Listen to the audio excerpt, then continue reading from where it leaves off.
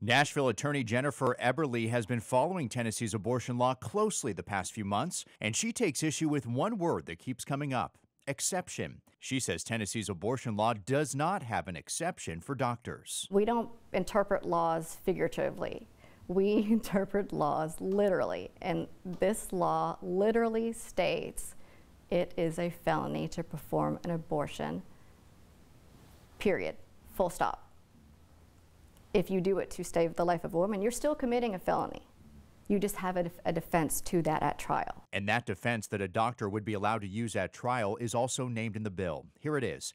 It's called an affirmative defense. Under the new law, doctors who perform an abortion are committing a Class C felony. No exception. That means a prosecutor can pursue criminal charges. The affirmative defense portion simply gives the doctor an opportunity at trial to defend himself or herself. But keep in mind, that's after being charged with a crime. The misinformation here is that we have an exception. We don't. An exception is something that decriminalizes the act.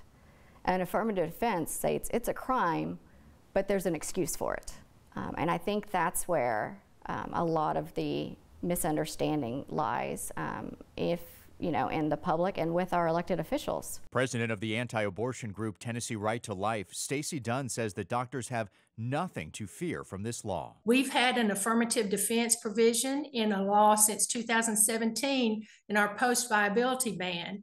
And after five years, no doctor has ever been prosecuted under that affirmative action, uh, affirmative defense provision. That is the protection that the doctors have.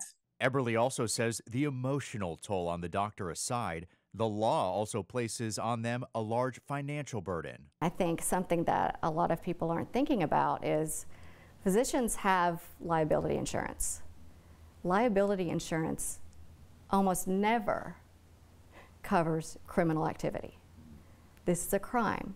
So the physician will not have insurance coverage for this. Mark Kelly, News 2.